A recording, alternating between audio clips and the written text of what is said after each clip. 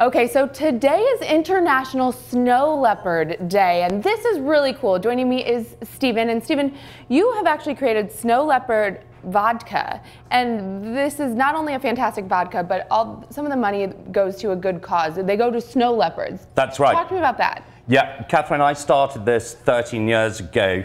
Um, I'm big into wildlife. I learned about the plight of the snow leopard. There are only 3,000 left in the planet, and I thought if I can make a great vodka and give money to snow leopard conservation, that would be a great business. And to date, 13 years on, I've raised close to half a million dollars and we've won lots of top prizes around the world for the quality of the vodka. I love the combination of the two ideas. It's really fantastic. And so you, you brought a drink. We're going to make one, and it's called the, the Nat Geo. That's that right. It?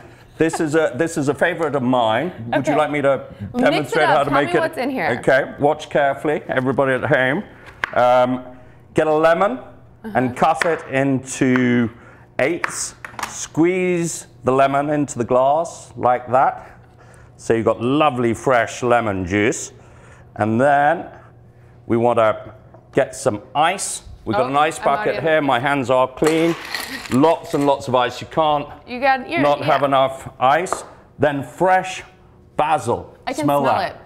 It smells fantastic. And get about four or five fresh basil leaves in your big glass.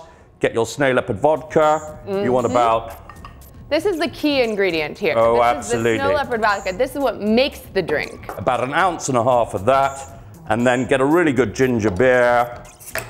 Get Ooh. that. Put it in like that. Okay. And we'll get a stirrer. And look at that. So it's called Nat Geo because of all the yellow in it and it tastes amazing. And Cheers. It looks refreshing. It looks very refreshing. Are you going to try some? It's really I good. I can't on camera. My okay. bosses are watching. Mm. off camera, then I'll try it. It is delicious. Then I'll it try is it. super. This would be a great way to celebrate National Snow Leopard Day. Absolutely. Another great way is try out some of our other cocktails, which are on ussnowleopardvodka.com, cocktails for conservation. And we got the Himalayan Spritzer. Mm -hmm. This one here, the Pink Panther, is a favorite of mine. It's got pink lemonade, it's got Ooh. cranberry juice, uh, fresh grapefruit, really good and quick and easy to make and delicious. This is the Himalayan Sunrise, um, which has fresh grapefruit, snow leopard, and a little bit of simple syrup and the pièce de la resistance. And I make my vodka out of spelt grain. See this, this is an ancient grain. We're the only vodka which makes it out of this wonderful, wonderful grain. That's why it's so soft. Mm -hmm. um, in the mouth, and that's conservation martini. I these all look fantastic. Don't go anywhere. We're gonna keep these on the table here. First, though, we want to check in with Jessica. She's our three and it's free caller. So Jessica, if we have you on the line here, before we wrap up the show and before I can taste some of the Snow Leopard vodka here, tell me three things that you saw on the show today. Oh, well, most importantly, obviously, the Snow Leopard Day and Snow Leopard vodka, very exciting. Mm-hmm. And watch Timmy on the slide trifecta. And then I'd like to do a special shout out to my mom, Rita. Today is her 60th birthday, so happy 60th birthday, Mom.